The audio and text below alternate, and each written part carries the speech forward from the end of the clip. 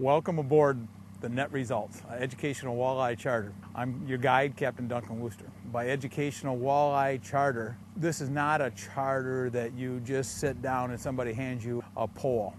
From the time we get in the boat, I explain how to use a sonar, how to use a GPS.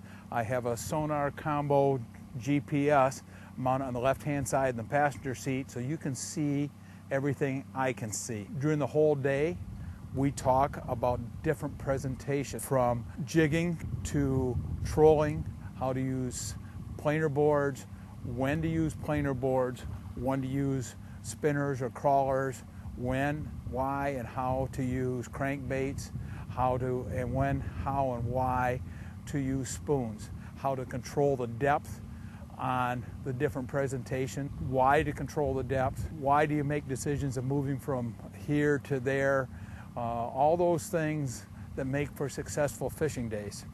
You'll be fishing out of a Polar Craft 1910, which is a tournament grade boat.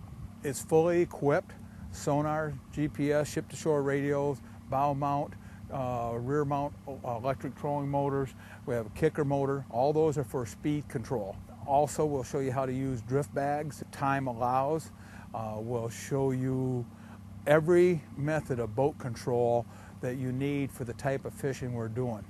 The boat is fully insured, licensed. Uh, I'm a licensed Coast Guard captain, and the boat is licensed in both Ohio and Michigan by Michigan DNR and the Coast Guard.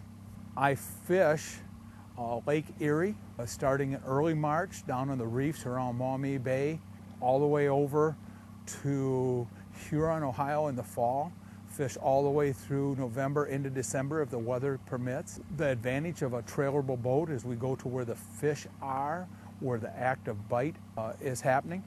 We, I also fish Saginaw Bay, Michigan.